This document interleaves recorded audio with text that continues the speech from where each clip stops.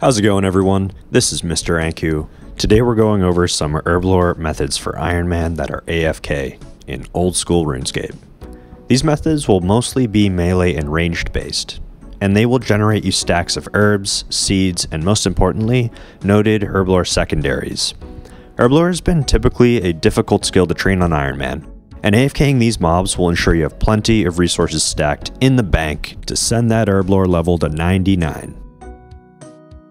Up first, we have flesh crawlers located in the Stronghold of Security. Now don't doubt these mobs just because they're in free to play. When in members worlds, these guys drop Ranarr weeds, and they can be fought at an extremely low level. This AFK spot can stack your Ranarrs very very early in the game, and these mobs also only hit one for their max hit, meaning you can last forever here while being AFK. This is such a good low effort method for early and mid game accounts. I recommend starting this method as early as being able to wear adamant armor, but you can do this method as a mid game iron, having much longer trips as your defense will be much higher. I remember doing this on my iron when I still had Barrows gear and a torso. Also, don't forget to either bring a Dragon Battle Axe for its special attack, which can boost your strength, or an Excalibur for its defense increasing special attack. So to get started, go to Barbarian Village and enter the stronghold like this. Follow the exact path that I'm showing you now on screen, and we'll want to go into this room. So try to stand on this tile here, and as you can see, that yellow line on the ground represents the monster's aggression zone cutoff. If we were to step over this line, it would reset the monster's aggression after it had stopped attacking me. That takes about 10 minutes. This plugin is called NPC Aggression Lines if anyone is interested in using it. I keep this baby on all the time. Lastly, for this method, I just have to mention this insanely interesting fact, and that is that these flesh crawlers also drop pieces of the skull scepter, which can be used to charge this actual scepter or its imbued variant.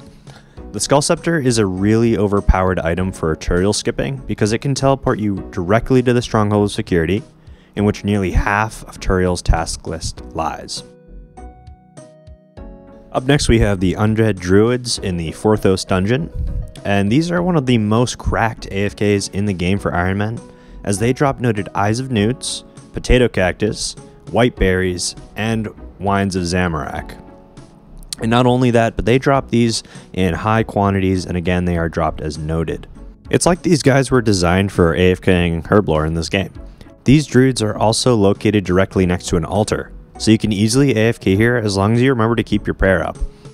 You can even use a salve amulet here, which I recommend doing, which will increase your damage output by about 20%. I also want to mention that these mobs are an amazing method for obtaining runes and other supplies on your Iron Man, since they drop tons of runes helpful for the mid and early game. Not to mention that they also drop hard clues at a rate of 1 in 100. Now, when fighting these guys, we want to be praying mage the entire time, and do not let your prayer drop, or you're going to have a horrible day. I find that wearing ranged void here is extremely effective, as the mobs here are weak to range. I would not recommend meleeing them. If you don't avoid, I really would say just wear your best range gear, or even consider wearing monk robes just so your prayer can last longer.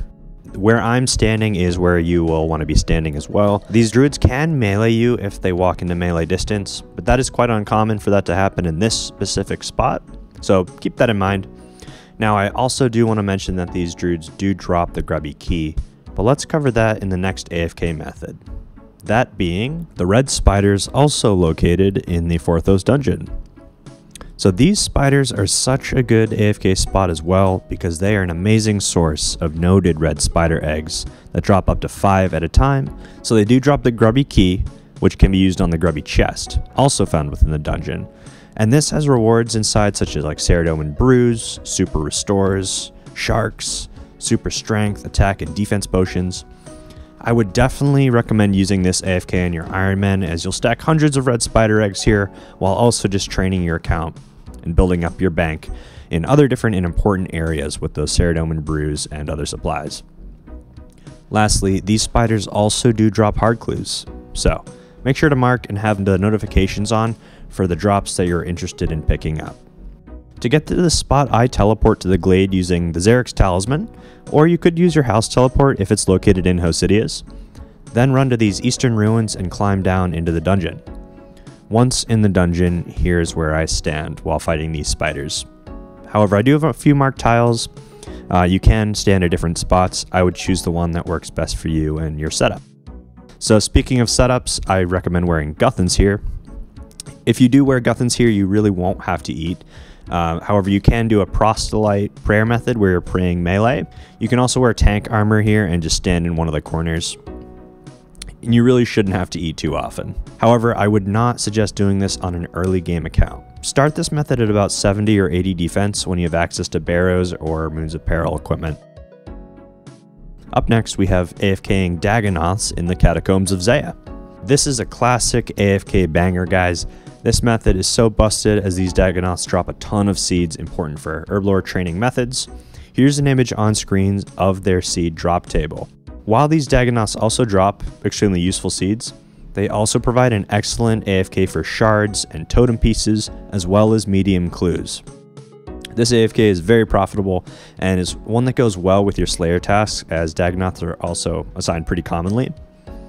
On top of this, the Dagannoths here only use melee attacks, so they can be prayed against fully when using Protect from melee. So to get started with this method, we'll want to go to Core using the standard spellbook. We then run like this and use the shortcut into the Ankous and run left into the Dagannoth room. I prefer wearing full Guthans here and bringing combat potions. You can also just wear full tank gear as well and just stand in the corner or you could wear a full proselyte and pray melee, which is a really, really good option as well. If you're doing the protect prayer method here, you'll take zero damage, and I recommend bringing a bone crusher if you have one, since burying the bones in the catacombs will automatically recharge your prayer every time a Dagannoth is killed. Here's where I like to stand when wearing my full Guthan set to get the most out of my AFK time. You can even wear a Ring of Wealth here for its auto coin pickup function, which will also profit you a small amount passively for the sacrifice of some DPS. I personally would prefer a Zerker ring or something that would boost my strength.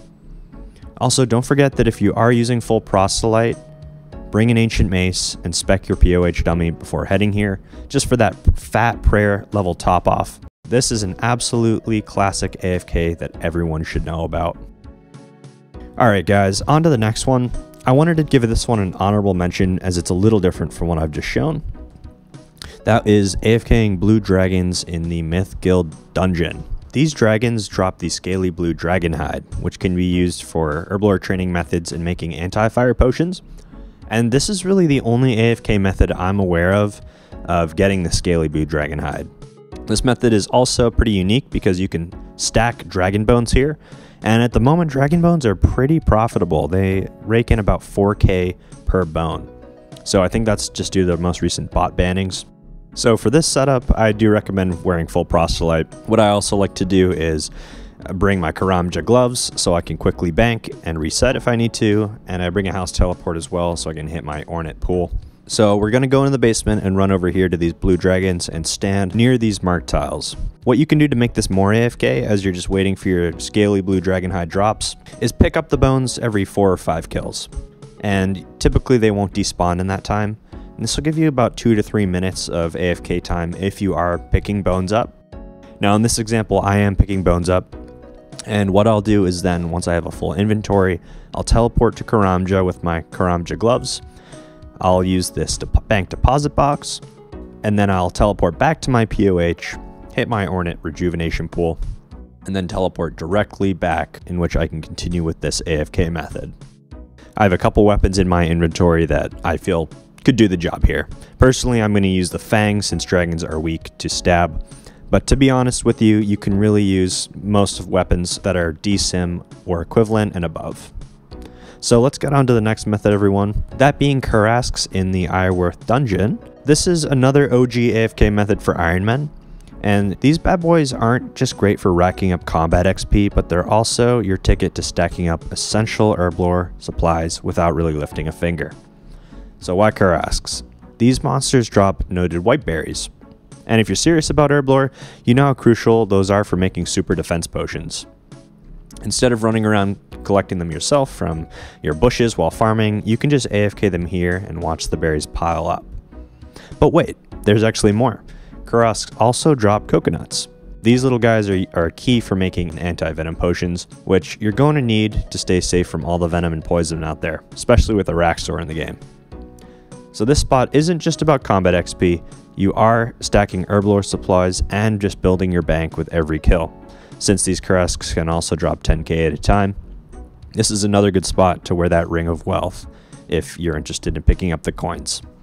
So to get rolling, just make sure you're bringing a leaf-bladed battle axe or a leaf-bladed weapon such as the leaf-bladed sword or spear. Kurasks can only be damaged by these or broad bolts or broad arrows, so just don't forget that. I would personally recommend using the battle axe just for the best damage, and don't forget to grab some food and then head to Prif. Once you're there, head to the Iorwerth dungeon, and you'll find the Kurasks right in this room. This place is really perfect for AFKing because it's just quiet and these mobs don't really hit too often, making it easy to just chill out while they drop you noted loot. And they even drop crystal shards for corrupting the Bowfa later on, so keep that in mind. Pro tip, bring a herb sack to scoop up any herbs you find here, and leave plenty of room for those juicy noted drops. If you're lucky enough to have a Slayer tasks of Kurasks, wear a Slayer helm. And if you're not on tasks, don't even worry. There's still a chill AFK method, and you can even make some good cash here with the rune and adamant drops. Also guys, don't forget your alch runes for this method. Alright everyone, so if you stuck around for this long, I'm going to be claiming my kingdom rewards. Now, it has been a while. Before I claim them, I am going to show you one last tip for this video that I learned long ago about this place regarding gaining your favor in an extremely fast way. What we'll do is we'll stand here at this farming patch and we'll rake it down fully then rake the left patch until it's completely gone as well, and wait until the right patch respawns.